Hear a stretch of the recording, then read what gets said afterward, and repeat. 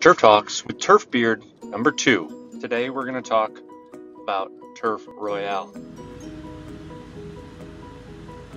This fertilizer right here is Turf Royale. Remember, this is a homogeneous product, N, P, K, and sulfur.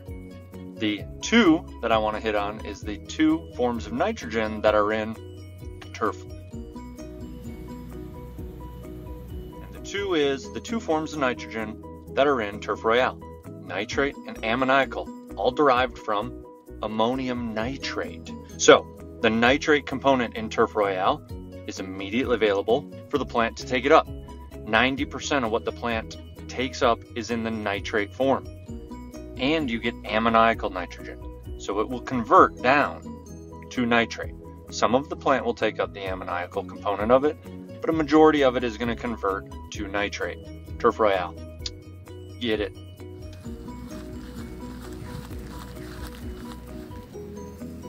Thank you for watching number two Turf Beard Turf Talks in the truck.